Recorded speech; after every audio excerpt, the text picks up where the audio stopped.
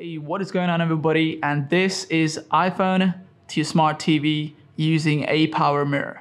Now, ApowerMirror is running on both the iPhone and on the smart TV. It's really simple, really smooth. You can even use the camera if you want to. So let me just take a photo and let me open up the photo for you. And you can actually do a lot with it. So let me just focus on the TV and let me show you exactly how it works.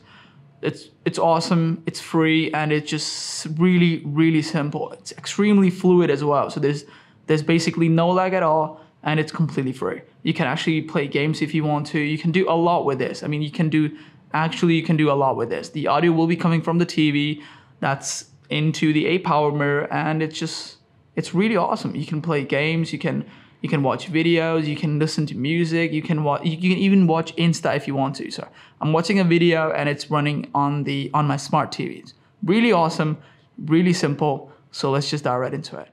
All right, so there's a couple of things we need to do on the iPhone.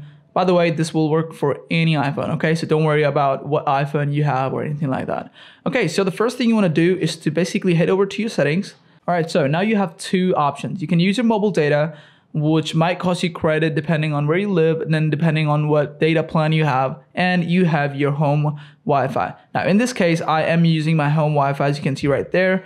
I mean, I got two, I got two different Wi-Fi's, but, but the benefit of using home Wi-Fi is that it's free, it's homey, and you don't have to worry about any data plan or, or any data, uh, overusing the data or anything like that, okay? So just be careful with the mobile, uh, mobile data. If you have the home Wi-Fi, I will recommend you use your you use your home Wi-Fi, okay? Now, once your iPhone is connected to your Wi-Fi, that's pretty much all you have to do. All right, so now what you wanna do is to head over to your Play Store. Let me just uh, head over to your Play Store and download a free app called ApowerMirror. By the way, all the links in the description box below, pretty awesome app.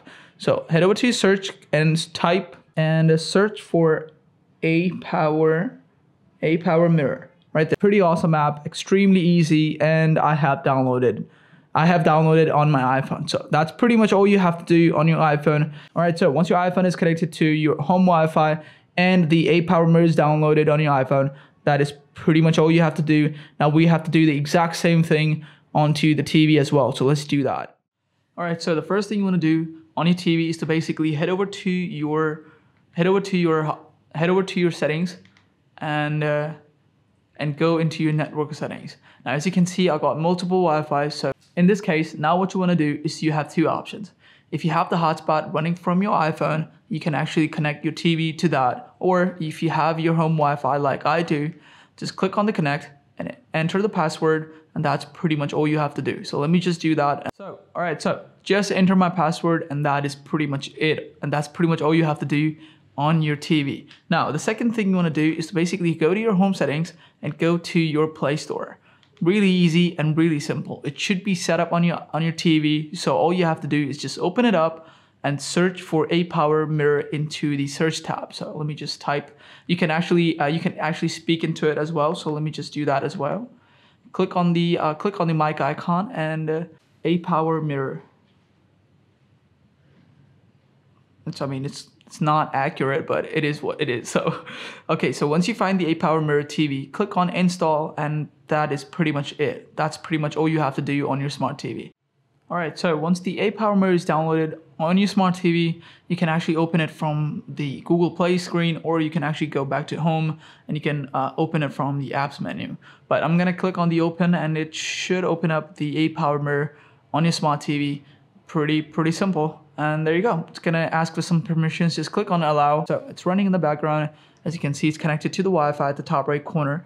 That's pretty much all you have to do. Now what you wanna do is to basically open the ApowerMirror on your iPhone. So let's do that. So ApowerMirror is running on my iPhone and is running on the smart TV as well. All you have to do is just click on the local cast it should automatically search for the devices that are running the ApowerMirror on your network. So in this case, my Wi-Fi is bra, and you can see that is my TV right there. All you have to do is just click on it.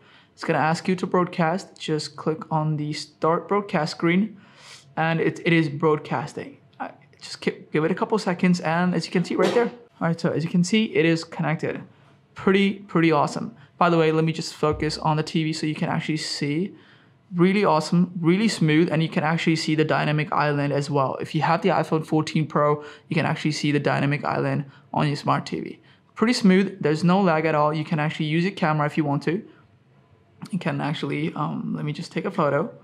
You can you can absolutely view anything if you like right there. It's pretty awesome. You can do a lot with this. You can actually uh, listen to music if you if you have music on your iPhone.